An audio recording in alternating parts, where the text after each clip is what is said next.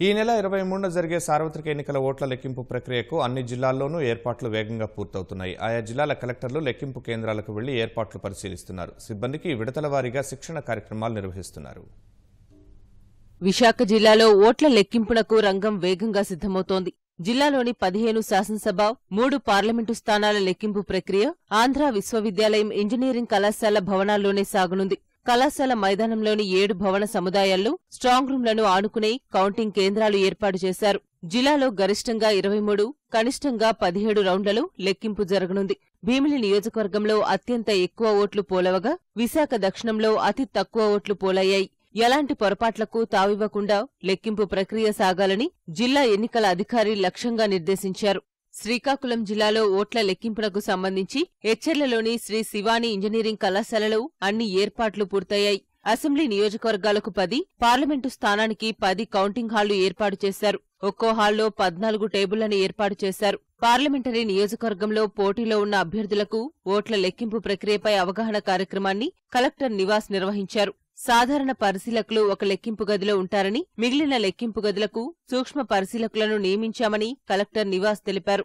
ఈ ఒక కౌంటింగ్ అనేది మనం ఇరవై నాలుగు హాల్స్లో మనం చేయడం అనేది జరుగుతుంది. ఇరవై వచ్చేసి ఈవీఎం కౌంటింగ్ హాల్స్ మిగతా నాలుగు పార్లమెంట్ ఒకటి తర్వాత మీది మూడు అసెంబ్లీ కాన్స్టిట్యూన్స్ కలిపి ఒక నాలుగు పోస్టల్ బ్యాలెట్కి సెపరేట్గా కౌంటింగ్ కోసం ఒక నాలుగు హాల్స్ పెట్టడం జరిగింది. కౌంటింగ్ కోసం మొత్తంగా four hundred eighty four counting supervisors five eighty two counting assistants plus four forty six micro observers మనం అక్కడ పెట్టడం అనేది జరుగుతుంది. ఎవరైతే ఏజెంట్ ఉన్నారో తప్పనిసరిగా వాళ్ళకు ఒక పాస్ ఇవ్వడం జరుగుతుంది. దాంతో పాటు ఒక ఫామ్ ఎయిటీన్ ఒక అపాయింట్మెంట్ ఫామ్ ఉంటుంది. అవి రెండు ఉంటేనే వాళ్ళు అలౌ చేస్తారు. అది లేకపోతే ఇది not allow.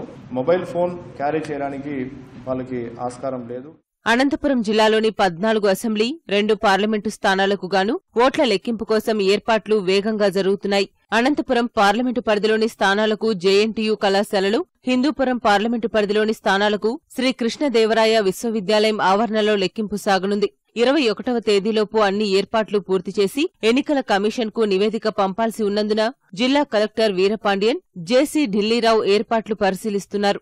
Twenty first election commission నుంచి ఒక రిహర్సల్ పెడుతున్నారు. ఆ రిహర్సల్ సంబంధించిన ఏర్పాట్లు కూడా ఆర్ఓలు తర్వాత ఏఆర్ఓలు చేసుకుంటున్నారు. Twenty second final second randomization అనేది కౌంటింగ్ స్టాఫ్ అందరికీ కౌంటింగ్ సూపర్వైజర్ కౌంటింగ్ అసిస్టెంట్ మైక్రోజర్ అందరికి కూడా అబ్జర్వర్స్ ఆధ్వర్యంలో జరుగుతుంది. మళ్ళీ ట్వంటీ థర్డ్ అందరం కూడా ఖచ్చితంగా ఫోర్ ఫోర్ ఓ క్లాక్ రావాలని ఫైవ్ ఓ క్లాక్ థర్డ్ రండమైజేషన్ చేయడానికి అనుకూలంగా అందరం కూడా ఇక్కడ అటెండ్ అవ్వాలని చెప్పేసి ఆల్రెడీ ఆదేశాలు ఇవ్వడం జరిగింది. దాని మేరకు అందరం కూడా అన్ని రకాలుగా ఏర్పాట్లు చేసుకుని ఏదైనా ఎలక్షన్ కమిషన్ నిర్ణయం తీసుకుంటే దాన్ని కూడా అందరికీ తెలియచేయడం జరుగుతుంది. తూర్పుగోదావరి జిల్లా ప్రత్తిపాడు నియోజకవర్గంలో అన్ని పార్టీల ప్రతినిధులతో నియోజకవర్గ ఎన్నికల రిటర్నింగ్ అధికారి మురళి సమావేశం నిర్వహించారు. లెక్కింపు సమయంలో పాటించాల్సిన నియమాలు వివరించి అధికారులకు సహకరించాల్సిందిగా కోరారు. అనపర్తి నియోజకవర్గ ఎన్నికల రిటర్నింగ్ అధికారి ముక్కంటి అనపర్తిలోని రామారెడ్డి జడ్పీ బాలుర ఉన్నత పాఠశాలలో అన్ని పార్టీల ఏజెంట్లు సిబ్బందికి లెక్కింపు ప్రక్రియపై అవగాహన కార్యక్రమం నిర్వహించారు.